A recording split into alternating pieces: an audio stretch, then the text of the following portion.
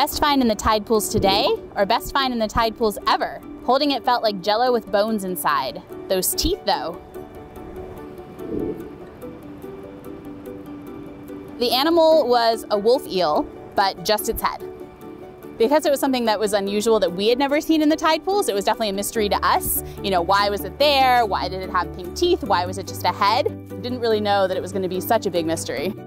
I had about 1,500 people either like it or retweet it, and then the Cal Academy also tweeted it with the photos, and they actually had like 6,000 people respond to their tweet.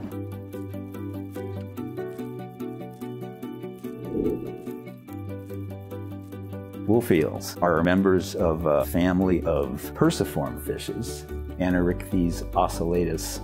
These are eel-like. Anything that's long and slender gets called eels. It lives in the North Pacific. The first person on Twitter who was responding to the pink teeth thought it might be due to lack of oxygen or hypoxia. We figured it probably was not hypoxia though, because if there was a hypoxic event going on off of our coast, we probably would have seen a lot more fish up high in the tide pools or a lot more dead fish. I asked Dave if he'd ever seen pink teeth on any wolf eels in our collection. I never had a request like that before, and I found that particular specimen that had obviously reddish colored teeth the most likely theory for why it has pink teeth is because they eat red urchins, and so they end up basically getting that coloration in their teeth.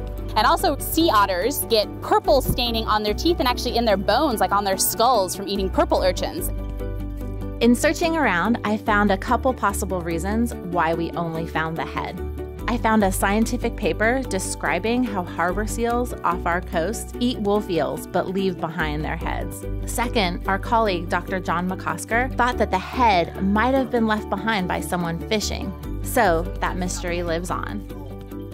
A picture like this isn't just great for social media, it's great for science. It definitely inspires our curiosity, but it might even solve a mystery or add to our knowledge of a species. And it's something we all can do by just getting outside with our phones and sharing our experiences with others.